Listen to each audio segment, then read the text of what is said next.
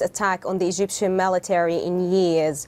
Uh, the, it's very well coordinated and a very sophisticated attack that uh, happened on a number of the main military and police uh, camps and headquarters in northern Sinai. It also, it also happened in an area where we have a curfew, where we have a state of emergency imposed, and security forces should be on high alert.